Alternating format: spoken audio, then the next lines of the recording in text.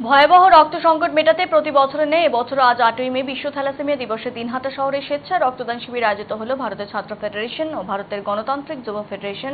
দিনহাটা আঞ্চলিক কমিটির উদ্যোগে। এই রক্তদান শিবিরের পূর্বে সংগঠন দয়ের পক্ষ থেকে পয়লা মে থেকে সাতই মে পর্যন্ত থ্যালাসেমিয়া নিয়ে বিশেষ সচেতনতামূলক প্রচার অভিযান করা হয় দিনহাটা শহর ও শহরতলি এলাকায়। আজ নৃপেন্দ্র নারায়ণ স্মৃতি পাঠাগারে রক্তদান শিবির উদ্বোধনে উপস্থিত ছিলেন দিনহাটা কলেজ অধ্যক্ষ আব্দুল আওয়াল, বিশিষ্ট চিকিৎসক এবং সমাজসেবী ডক্টর অজয় মণ্ডল, ডক্টর নির্মল্য মণ্ডল, বিশিষ্ট অধ্যাপক জয়দীপ সরকার, বিশিষ্ট শিক্ষক বিধান দেবনাথ, জয়ন্ত অধিকারী, গণতান্ত্রিক আন্দোলনের নেতৃত্ব প্রবীর পাল, দেবাশিস দেব, এসএফআই দিনহাটা, আঞ্চলিক কমিটির সম্পাদক আকাশ সাহা, সভাপতি সৌভিক দে, জেলা সম্পাদক মণ্ডলীর সদস্য টুটুল সরকার, জেলা কমিটির সদস্য শুভজিৎ দাস, ডিওয়াইএফআই দিনহাটা লোকাল কমিটির সম্পাদক তথা জেলা সম্পাদক মণ্ডলীর সদস্য শুভ্রালোক দাস, ডিওয়াইএফআই নেতৃত্ব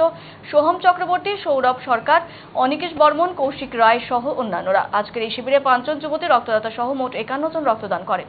সংগঠনের তরফে সুস্থ পৃথিবী গড়ে তোলার লক্ষ্যে প্রত্যেক রক্তদাতার হাতে গাছের চারা এবং রক্তদাতাদের শুভেচ্ছা জানিয়ে গোলাপ ফুল তুলে দেওয়া হয়। ডিওয়াইএফআই নেতৃত্বে শুভ্রালোক দাস জানান, প্রতি বছর নেই, এবারও আমরা বিশ্ব থ্যালাসেমিয়া দিবসে রক্তদান শিবির করলাম।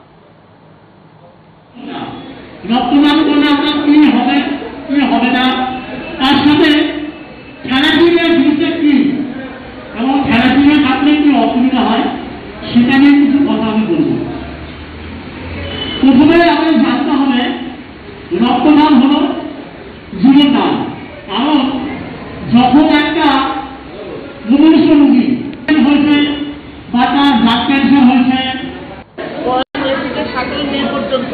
আমরা ধারাবাহিকভাবে থ্যালাসেমিয়া প্রতিরোধে প্রচার অভিযান সংগঠিত করেছি। এবং প্রতি বছরের ন্যায় এবছরও আমরা আটই মে বিশ্ব থ্যালাসেমিয়া দিবসে